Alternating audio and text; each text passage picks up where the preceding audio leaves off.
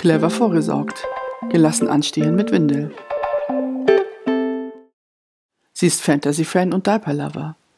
Beim mitternächtlichen Verkaufsstart des neuesten Bandes ihrer Lieblingsreihe will sie unbedingt ein Exemplar ergattern.